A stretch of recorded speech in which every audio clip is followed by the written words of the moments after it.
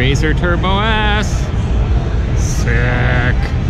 Hey everyone, it's Adrenaline Junkie. Thanks for checking out another video. This one's obviously a little bit different than the uh, ones you're used to seeing. We're not on the trail. We're here at the 2018 Toronto International Snowmobile, ATV and Power Sports Show in Toronto, Ontario at the International Centre. We got a good chance to uh, spend the weekend at the show with our main sponsors, Royal Distributing. This gave us a chance to check out all the new machines coming up for 2019 and I figured why not show you guys the machines as well. So what I'm going to do here is I'm going to go through all the main side-by-side -side models that I'm interested in and that are part of our group mostly. Uh, mostly the flagship models, and I'll share all the cool video with you and maybe a few of my thoughts, and then uh, we can discuss the machines in the comments section. You can let me know what you think. So thanks for watching. Don't forget to share the video with your friends. Check us out on Facebook and give us a thumbs up. Also, if you're interested in picking up some of that sweet custom Team AJP swag we just released, please make sure you check out our Shopify store and help us support the channel.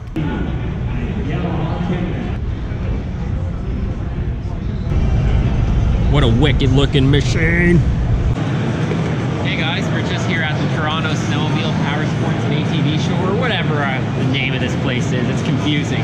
But the important part is we're standing next to a brand new Polaris Razor Turbo S. Yeah, baby.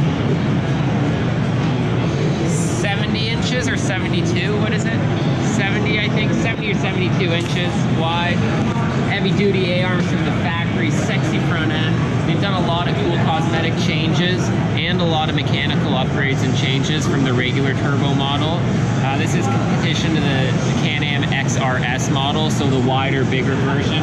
It's got the dynamic suspension from Fox with the live valve system. It's got servo motors in there, automatically adjusting suspension. It is sweet. Um, this is a wicked machine. Quite honestly, doesn't have too, too many changes from my 2017 Polaris Razor Turbo or from a 2018 Polaris Razor Turbo, but some notable changes are definitely the 32 inch tires that comes with stock. Nice uh, ITP Coyotes. Wicked. It's got a lot of other upgrades, like the dynamic suspension is cool. Uh, obviously the wider wheelbase. The interior has been revamped and it's sexy. Check out that gauge cluster. Finally, Polaris has stepped it up with some nice analog mated with the digital. It's got the drive command. All your suspension settings for the dynamics are on there. You got the wicked, wicked gauges. Um, the interior is nice. Uh, it's got the same seats pretty much as, as the other Razors. I mean, uh, the power output is the same, I believe, at 168 horsepower, but it does have a bigger differential. It's got bigger A-arms in the front, bigger radius rods in the rear, a super cool Sparco steering wheel.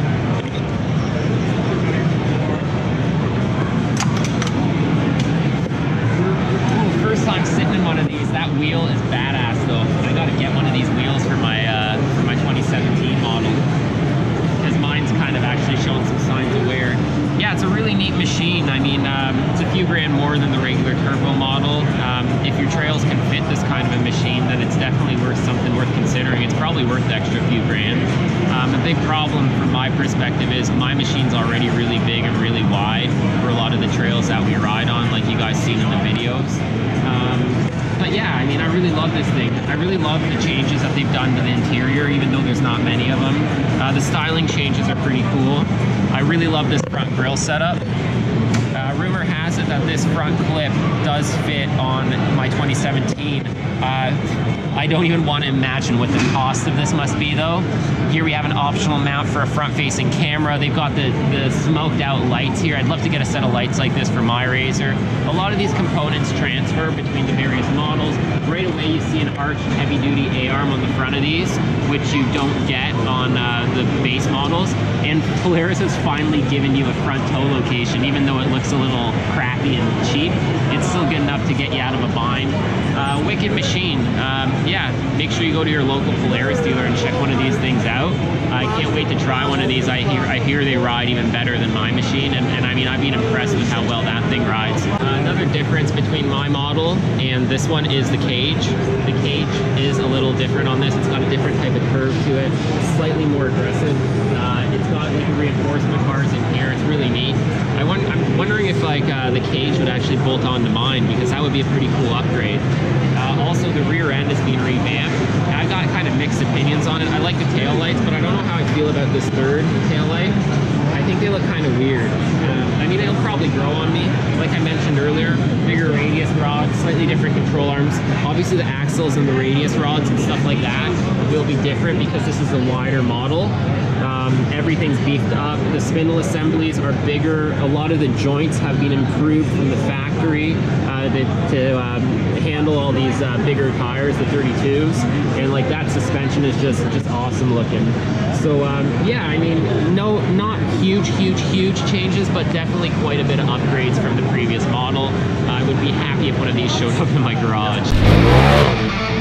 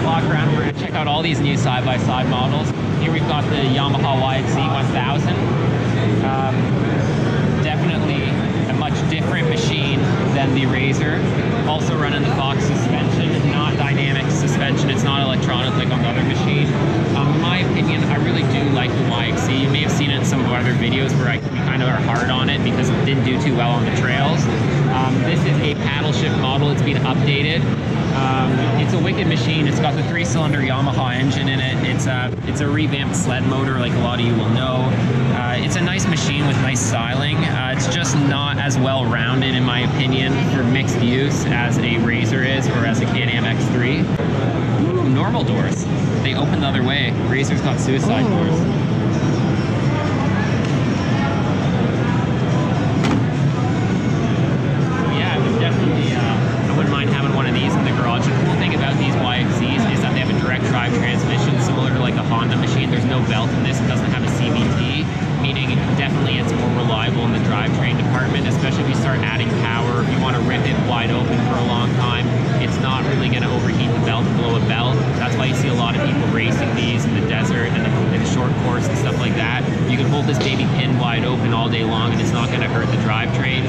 Also lets you rip it on the asphalt and on the hard pack a lot better than, than a Razor.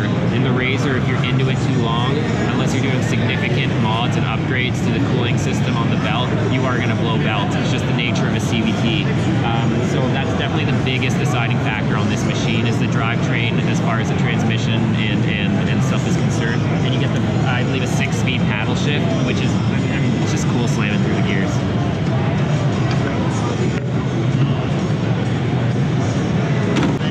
All the machines are coming with uh, the Maxxis stock. Uh, it seems to be like just like the, the number one tire the manufacturers are setting these machines out with. And I really like these tires. They're a good tire.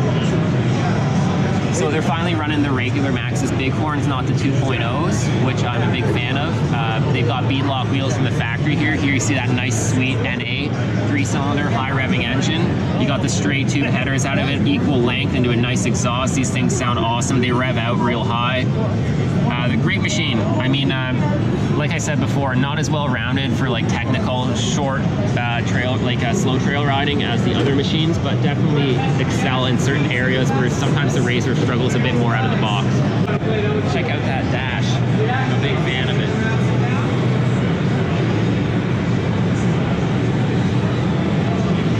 It's got the nice gauges. Interior is not too bad. With the center console and, and the engine and, and some of the stuff running through the middle here, you don't get as much of the legroom as you would in some other models like the Razor, but um, it, it's still a pretty roomy cab. I'm 6'4 and I fit in there no problem. It's definitely got sleek lines. The big problem I find with a lot of these machines is, like the YXZs, is they lack a front fender. So you'll see a lot of guys running fender extensions. So if you plan on running this thing in anything wet or dirty or muddy, windshield's gonna be covered, you're gonna be covered, you will be filthy. These things are disgusting when it comes to that. They get that aggressive styling, but you lose a lot of that protection. And I mean, that's just one of the trade-offs. You can tell these machines are more made for mid to high range, like desert riding and, and, and high speed or short course stuff. So yeah, generally speaking, it's a really sweet machine. And if you guys if you guys get it, you'll definitely be satisfied.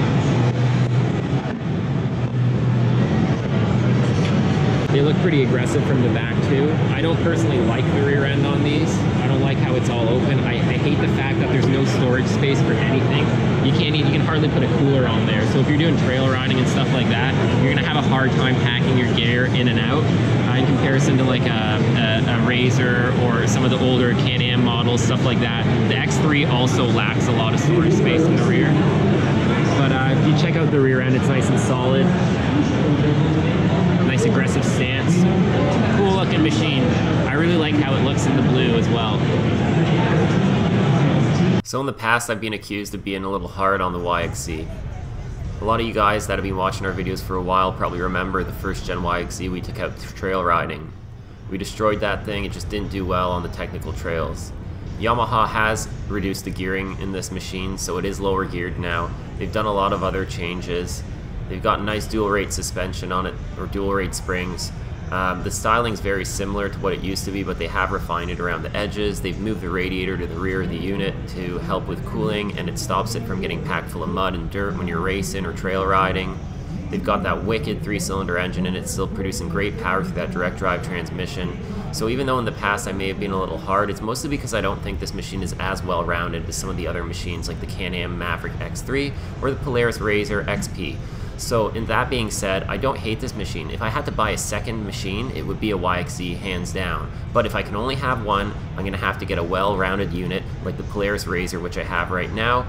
If I had to choose something else, it would probably be an X3. Before we leave uh, the Yamaha booth behind, we can't leave out the Wolverine. You guys have seen uh, a Wolverine in a bunch of our videos, and a lot of you guys have commented that it actually does a lot better than you'd expect it to.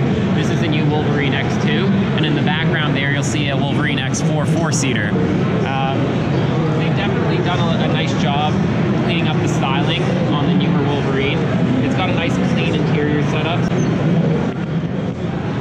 like a lot of the other models, a lot of the things run through the center here. It's got a cool center console for storage.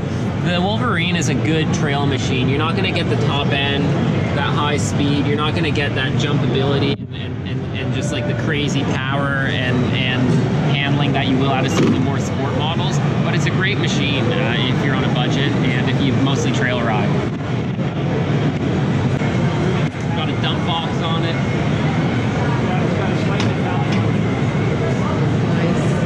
nice tail lights. It's a good looking machine. Um, obviously this is a utility, sport utility class machine. It's not a pure sport like the X3 or the Razor Turbo or the Yamaha YXZ like we just showed you before, but definitely worth considering, like I said, especially if you're a trail rider. So the Yamaha YXZ and the Wolverine are the two Yamaha machines that I really think appeal to the kind of riding we do. You've seen the Wolverine on the trail, you've seen it do well on the trails. The YXZ we had in the past struggled a bit, Personally, I'd really love to see a Yamaha YXZ 1000 with a CVT transmission mated to it. I think that would be really cool. Here you see the four-seater in a really nice blue, and this thing would probably do quite well on the trails, just like its little brother, the two-seater. We're going to wander over to the Honda booth now. Like the Yamaha YXZ, the Honda Pioneer does not use a belt-driven CVT. It uses a direct drive transmission, which give you that, that which gives you that arguably awesome like Honda reliability. A lot of Honda boys will say. I can't argue that. Uh, it also runs a paddle shifter design similar to the Yamaha YXZ. So uh, they are cool units. Also more of like a sport utility model rather than a pure sport itself. Honda has come out with the new Talon, which is a sport model. I'm not sure if they're going to have one here though. So we'll take a look at the Pioneer 1000. Here we got the Pioneer 1000. This is the five-seater version. You can see them demonstrating the seats in the back. They're pretty cool. It gives you seats underneath the bed, so you can still go out on the weekend, ride with the boys, and during the week you can still do your farm work or your utility work like you need to. Here we have the regular uh, Pioneer. This is one with the bench seat in it. If you look at the dash, it's a lot more of like an agricultural uh, kind of layout. Looks a little more uh, rough and rugged around the edges. The styling's just not there like in some of the other models. That's not to take away from, from the reliability of this machine. These are great trail machines. They'll go just about anywhere on the trail your other machines will go, especially with the right driver. Now we're at the John Deere booth here. I can't say I know much about these. Um, not really my cup of tea in the sense of uh, performance uh, trail riding. Um, if you're if you're a farmer that still wants to have some fun or, or if you need this for work, then I'm sure a lot of these machines can go a lot of places with the right driver. I used to have a lot of fun playing around in a Gator. I mean, I mean, it, the key is to get out there and ride. If this is all you got, then this is great. Uh, behind us, we got a really cool model here. I mean, this is all cabbed in. It's an XUV 835. I mean, it, they're neat machines. The interiors by no means are ugly. I mean, these are really refined but you can tell that this is predominantly a work vehicle, but it can still offer you a lot of fun on the weekend. I like that there's air conditioning. Yeah, it's got air conditioning, it's got heat. This is this is definitely like more of a car type feel. Um, I don't know. I mean, I'd love to take a machine out like this on our trails and see how it does. I mean, you can't expect it to do everything a, a Razor Turbo does, but I'm sure it would do 80% of it. And if the if the Wolverine can handle a lot of those trails, I don't see why some of these John Deere models couldn't. So if we look across there, we've got uh, Cub Cadet, which is supposed to make cheap lawnmowers. Used to make good lawnmowers, in my opinion, sold out. Went overseas with all their production, like a lot of companies have, and now they're producing these rebranded Chinese side-by-sides. I'm not going to talk crap about them, but they're not made for guys like us. If you're watching our channel, that is not the machine for you. Um, you can't expect this to go much more than I don't know. It's like a golf cart on steroids, in my opinion. It's it's maybe okay for the golf course, but I mean uh, uh that's all I would put it at. I don't want to go into too much detail. I don't know the specs on these really, but just looking at them, looking at the frame designs, they're just really behind the times. It's more of a they're trying to win you over with their price point and their looks, but you're not going to get the quality, you're not going to get the aftermarket, you're not going to get the capability of some of the bigger brands. Over here, over here, we've got the Suzuki booth. Suzuki doesn't really offer a side-by-side -side even. They're still stuck in the past with some of their King quads and stuff like that. Um, they've really kind of just lagged behind the competition the last few years and they don't really have anything to offer. I'm focusing on side-by-sides here because that's mostly what we do. So there's not really even much to talk about in regards to Suzuki, so we'll just move on. Ah, didn't see me, did you? so we've made our way to the Kawasaki booth now. Uh, we're looking at a Kawasaki Teryx two-seater right now.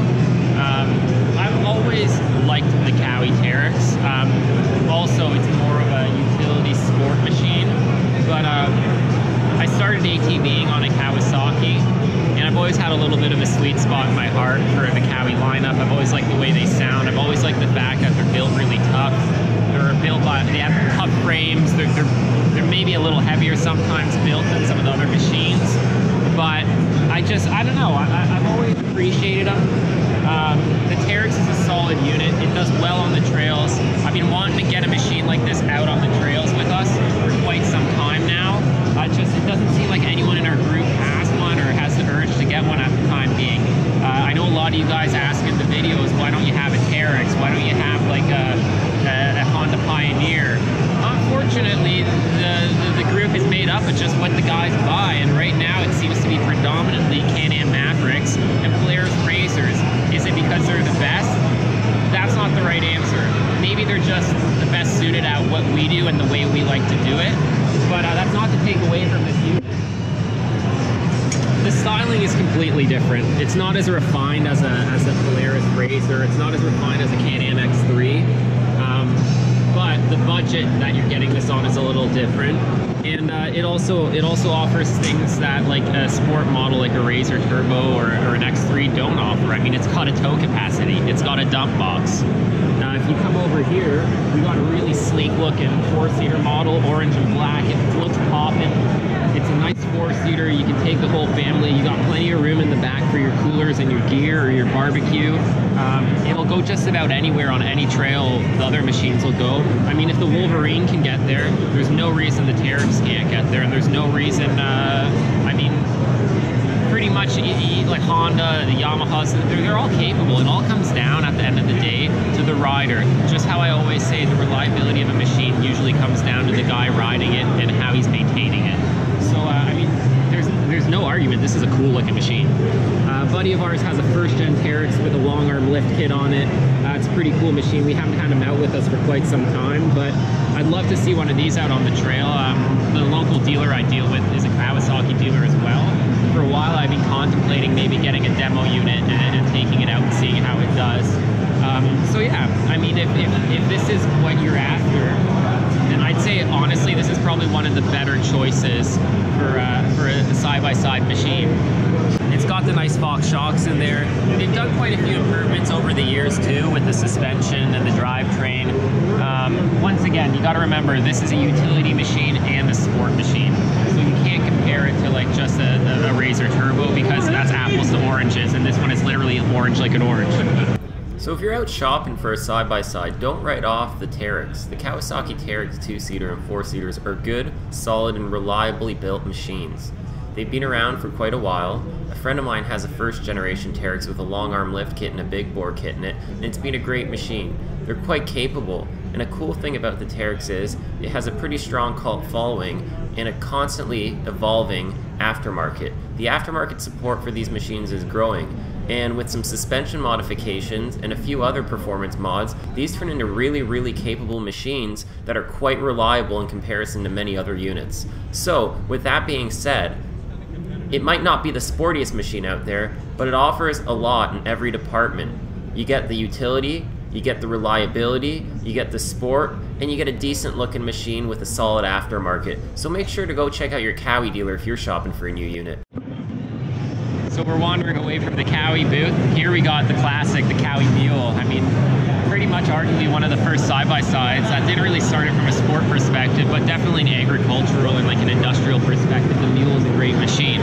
Over here we've got a, uh, we've got Kubota's offering, which they call the RUV, um, and it's it's it's also a machine that you can easily take on the trail and, and do some light trail riding with, but work with it all week and during the weekend on your farm or on your industrial, uh, whatever you do for industry. I mean, it's obviously set up for a crew of guys, but it's got 4x4. They come in diesel as well. So they're really neat units. A buddy of mine has one on his farm, and you know what? They actually go a lot of places if you hit the throttle hard enough. So, I mean, uh, it all depends on, on what you want to do. It, it can definitely take you out on the trail on the weekend and still have a good time. It's just not suited for the type of riding we usually do. We're mostly recreational sport riders, so uh, that's not really a machine built for us. Over here we've got uh, the beautiful uh, Chinese lineup of CF Moto, Chongfang, um, as they call it. I'm not a fan. Uh, we test drove we test drove the 1000. It's not terrible. It's like I explained in the video. It's it's a specific demographic of machines for a specific type of rider. It's just not something that we use that our group rides in. The warranty support, the fact that there's hardly any aftermarket, and the build quality of these machines are just not up to par when you compare them to a Kawasaki, a Polaris, a Can-Am, and a Honda and stuff like that. They're just in a different class of machine, and uh, we're not really going to dive into them because I, I, I don't find it a comparison. I classify them in the same group as Cub Cadet and Hisun. Just not, you, you get what you pay for at the end of the day, and, and CF Moto isn't a company that has much R&D, isn't a company that's built on a race-bred heritage. They're simply taking something, making it look like the rest of the competition, and marketing it in that matter, but they don't actually, they don't actually perform the way they look. It's kind of like in the car world, you'd call it all, all show, no go, uh, and that's kind of the way I classify the CF Moto brand. I'm not hating, I'm just being realistic. You can't compare them. They're on a different level. We got the MBRP booth here. Uh, big shout out to those boys. They've been supporting me along the way for the last little while. I'm rocking their exhaust systems with good results. Uh, if you're looking for a cool sounding system for your machine, make sure you check them out for your ATV, side-by-side, -side, or your snowmobile. Hey guys, so we've made our way to the elusive Textron Off-Road and Arctic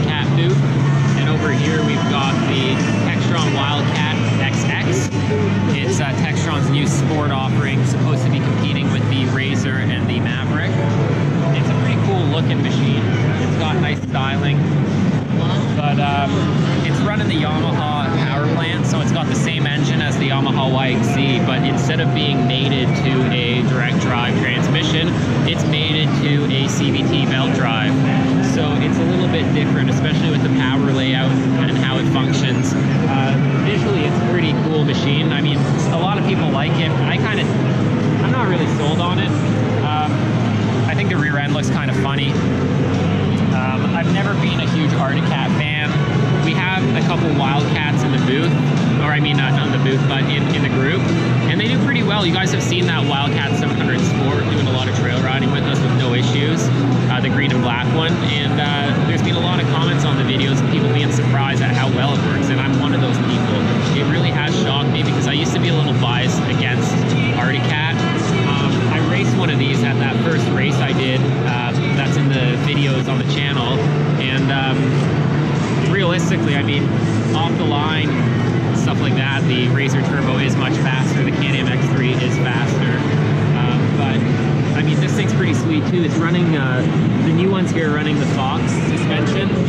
Uh, we're gonna work our way over to their Havoc model in a minute, and I believe the Havoc model is actually running King coilovers. Um, they've definitely stepped it up from what it used to be, but it's still, uh, it still needs a bit of work. So uh, once these people get out of there, we'll go inside and we'll we'll take a look at the styling on the inside and compare it to, to the other machines. Let's get a look from the front here. So the front end looks interesting. I still think it looks like a little squish. So it's got pretty heavy duty front end here by the looks of it. Those A-arms look beefy.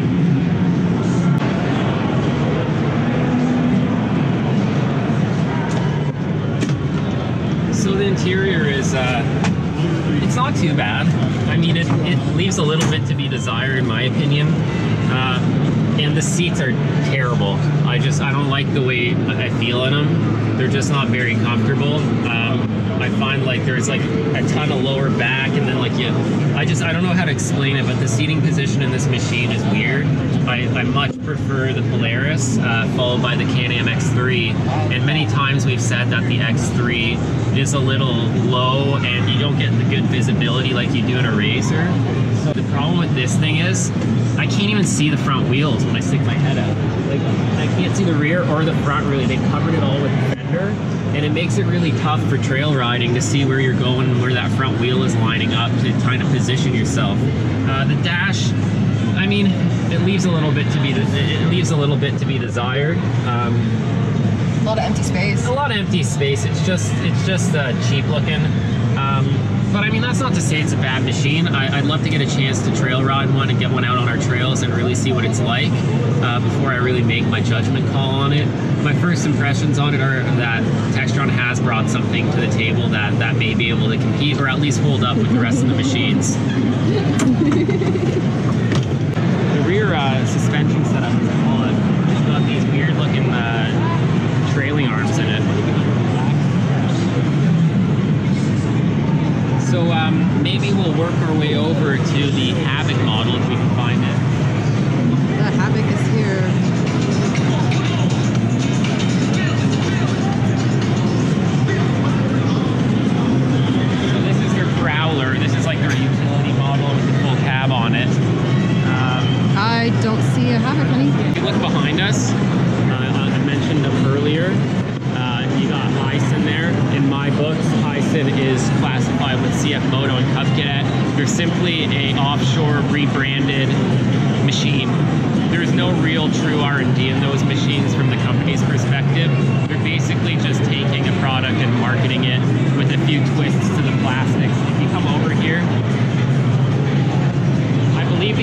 are actually assembled in Texas, if I'm not mistaken, but they're shipped in from China. It's just, it's cheap. It's a budget machine.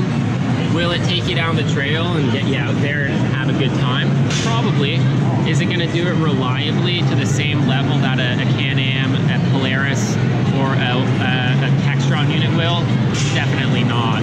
It's just, you can't compare it. If you look at the control arm, like that. We just showed you the control arms on like the um, on the Wildcat there, and you saw how big they were. The suspension, everything. It's just a different caliber of machine. Uh, you can't really compare it to the big names in the market. It's definitely an entry-level product on a budget, made for a different type of rider, not specifically for what we like to do. The last stop on the list is obviously going to be Can-Am. So we're to work our way over to the Can-Am booth. And uh, as you guys know, most of our videos are based either on the Polaris Razor platform or the Can-Am platform.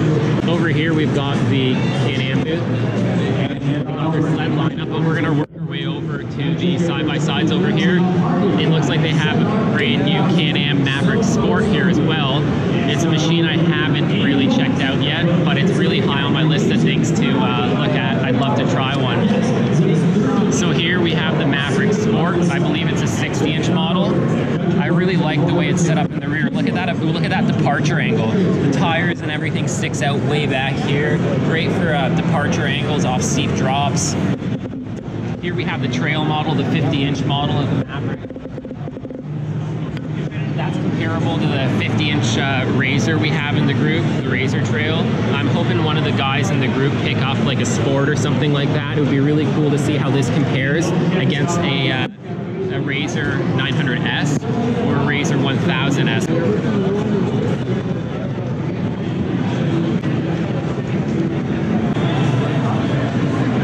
You guys all know that the RZR 900S is one of my favorite trail machines, and we've got a few of them in the group, and you know how well they do.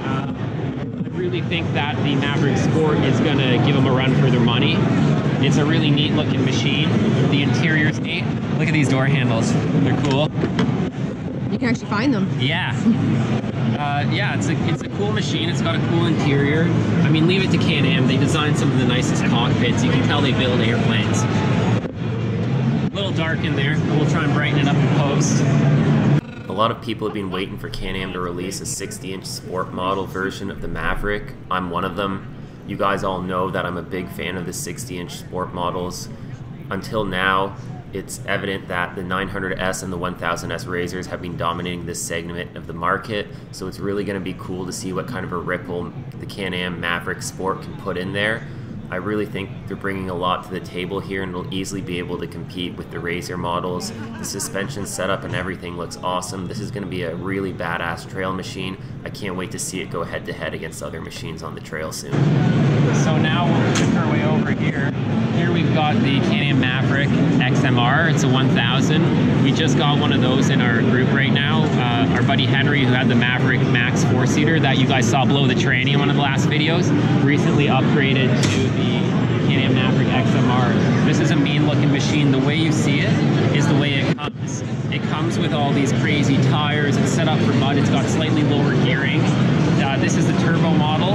I believe it also comes in an NA model that's not turbocharged, just like the X3 Maverick comes in a turbo and a non-turbo application. So the inside of this machine is pretty darn look cool looking. It's got a nice interior. The seating position of these is definitely a lot different than the RZR. I'm gonna get in here.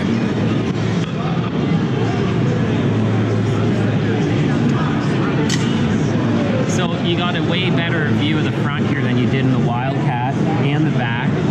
But generally speaking, the rear visibility on this is brutal, especially when you look at the fact that it comes with these cool snorkels. I mean, they're super sweet, but you can't see what's behind you. There's a lot of attention to this model here today. Uh, you got the OEM snorkel set up here. It's really cool. This is a mud machine. Uh, the nice aggressive tires. These are uh, 30 inch ITP cryptid tires. It's a great looking machine. The rear end's nice. Like I mentioned earlier in, some of the videos, it doesn't have the same vent storage capacity that like a RZR does. Uh, you can hardly put a cooler on there. And once you've got something in the bed of this, you can't see anything those are just like silly points. The fact is, this machine is about as closely matched to a RZR as it can be. Over there, we've got Can-Am's Defender, which is their utility model, but still offers quite a bit of storage. Like I mentioned earlier, this is a 1000 turbo. It's a, it's a pretty badass machine. Look at those A-arms. Those are huge. Can-Am has really stepped up the game with the um, with the heavy-duty build, quality of the products. Look at those tie rods. These are awesome machines. They've really made everything a lot stronger, a lot sturdier. They're really giving Polaris a run for their money now. A lot of people will argue that out of the box, the Can-Am is actually more reliable and well, more stronger and heavier built out of the box factory than a Polaris is. When you look at these A-arms and these joints and stuff, you can see why people are saying that. What Can-Am has brought to the table with their XMR edition machines has always been awesome. All the XMR models are forces to be reckoned with, whether it's a Renegade or an Outlander ATV. The previous XMR Mavericks were great, but this thing just really steps it up. This thing is a beast. The way it's set up from the factory is just unreal. It looks awesome and it performs awesome. Like I said, we have one in our group now, so I can't wait to really get some more uh, on-trail footage of the machine and see how it does. These aren't just mud machines, they do excellent on the trail and they do really well everywhere they go. Um, I'm a big fan of the regular Maverick X3 as well as the X3 Turbo. I think the XRS is also a wicked machine. Everything in the X3 platform is a force to be reckoned with. These machines really give the RZR Turbo a run for their money. The X3 Turbo and the RZR Turbo are very evenly matched machines. Basically, that concludes like a little synopsis of most of our, our you know, our higher end and our more popular side-by-side models that we've been able to see at the show here. Make sure you guys check out our other riding videos so that you can see how these things get abused on the trails and how they really work when you compare them side by side. So follow us on Instagram, like us on Facebook. Make sure you subscribe to both this channel, Adrenaline Junkie Prod, and our projects channel, Adrenaline Junkie Projects, so that you can stay up to date with all our uploads in the future. Thanks for watching. See you in the next video. Thanks for watching the video. I hope you enjoyed it. If you'd like to get some cool swag to wear out with your friends on the trail and show everyone how much you love off-roading, check out our new Shopify store where you can get some custom t-shirts, as well as some cool stickers. Also, if you'd like to support the channel and the videos in another way, become a Patreon and check out our Patreon account. Please subscribe to both our channels, and follow us on Instagram and on Facebook. Also, take a moment and check out some of our supporters' websites. A lot of these videos wouldn't be possible without them.